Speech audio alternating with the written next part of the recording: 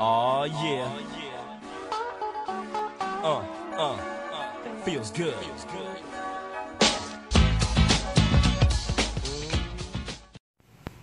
What's up, happy people? Because I'm trying to always be happy. It's your girl, Songbird. Donte Black. And we're back for another episode of your favorite internet show. It's right on the wall. I know you see it. I know you see it. Polar Opposites, the Melanin Edition. All right, so if this is your first time tuning in, thanks for tuning in. Make sure you subscribe, hit that notification bell that's sitting down on us, and so that you're notified every time a new episode of Polar Opposites pops up. And for our returning opposite fam, What they do. whatever. Okay, so let's get into today's topic. This was pretty funny, if you ask me. Are hats the weave of men?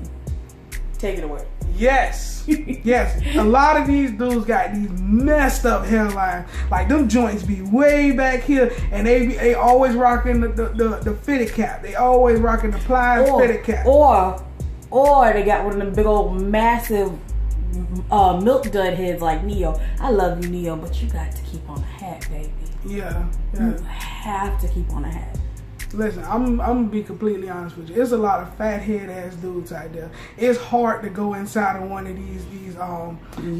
these yeah lids or something like that. And I got dreads, so I I need a seven seven eight or I Uh-uh, need an eight. uh-uh, uh-uh. I need an Do eight. not put it on those No, listen, listen. I'm being That completely honest. massive. I'm being completely honest with you. Without these, I can I can get into a seven and a half. Lies. No, seriously, I can't. When I had braids, I could. Coming from one big head person to another, I doubt it. Listen, just because your shit extra large, that don't put don't You're put right, big head, big brain. Thanks, Dad. Nah, just big as fucking still dumb as a box of rocks.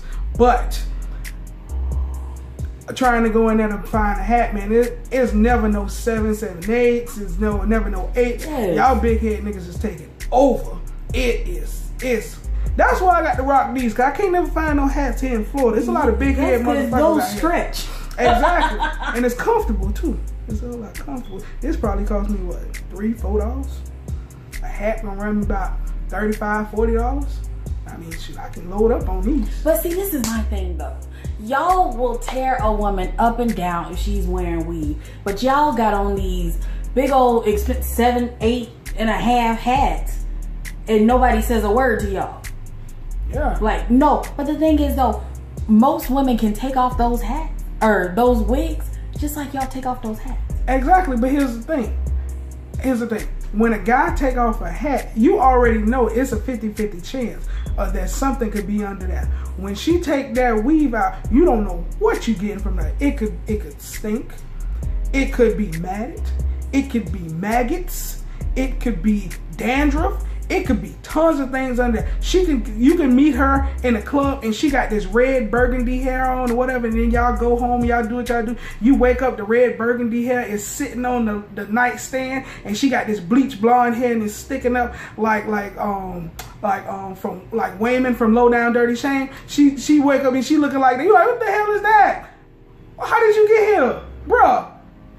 you know just things like that you you don't want you don't you don't want to to to have to deal with somebody that has that kind of crap under But that's the same thing with the hats. Exactly. You don't know what type of head is under that hat. exactly but here's the thing with a guy when you meet him he say hey mom can i get your number you like hold up baby before i meet you take that hat off i need to see what's under there now you can't a guy we can't do that so superficial. Hey, but it's the truth because at the end of the day, if you if you let's just say you start catching feelings for this dude or this dude, y'all have sex and this dude busts inside you, it's a chance that you can have a boy and then your boy most likely gonna have that hairline. Or if even fucked up, uh, the little girl can have that hairline. Well then, have a C-section and be careful. Exactly. That's why you're like, hey, bro, take that hat off. Let me see. Because as guys, we can't say, hey, mom, what's what's going on underneath that? Can you take that weave out? Let me see what your real hair. Ain't no female in the world finna take her weave out so you can see her real hair. Well, not in a public place. She ain't most female. I dated. I dated this one girl. She told me that I would never see her real hair. She would purposely leave, go get hair changes and all this other stuff, just so I could never see her real hair. And That's I was like, with a true insecurity. Yes, true hair insecurity. Which I told him, like, listen, it don't matter. I don't care if your hair is this long or your hair is this long. Doesn't matter. just be confident. Just be confident in what you look like in your original state. That's all I care about. So if you completely bald like Michael Jordan underneath that, it's okay. Just be confident in that. But don't think that somebody's not gonna like you for who you are because you ain't got no damn hair. And that's the thing though, if a person can't accept you the way that you are, is that truly a person you want to grow with or be with, period? Because that means they're not accepting you in your natural state.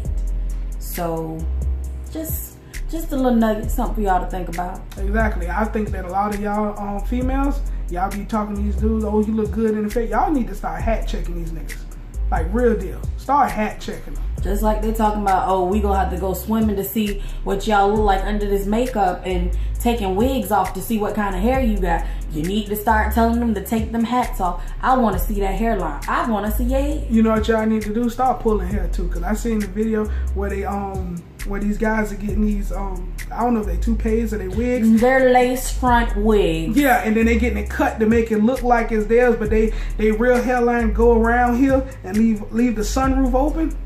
And now they're getting stuff to put on top of that, and then the barber they put that black stuff on and they fade it down and look real good. So y'all females, y'all might want to go. You gonna get one? I don't need it. I, I ain't got no bald spots. My hairline is right here where it's supposed to be. I thought your hairline was supposed to be right here. Nah, my hairline is not supposed to be back here. My hairline is right up here, right where it's supposed to be. Whatever you say. All right, what's your opinion on that? Do you think that hats are the weave for men? Sound off below. Make sure you hit that like, that subscribe, tag a friend, tell a friend, tag a friend that wears a hat all the time. See what they got to say. Tell them to comment. Since I wear one in 99.9% of this, my hairline is where it's at. I don't, I wear this because this is always shiny and it shows up a lot. If y'all can see on the side, you see where my hairline is? We just- Bald spots. No, no bald spots. You see this? Yeah, my hairline is right there where it's supposed to be. Keep in line. down. In line. And on this side too. In line. In line. spots. See right there? See it's right there. You ain't got to go way back there nowhere. It's Buck right shots. there. It ain't no. It ain't. no I ain't got the Batman or the McDonald's. I ain't got none of that. Best believe. I'm gonna get my junk retwisted one day and then I'm gonna wear it One day? One day, not two day. Cause we we filming today, so I ain't gonna do it two day. All right, guys. We'll see you next time. Songbird. Don't think about it. Peace.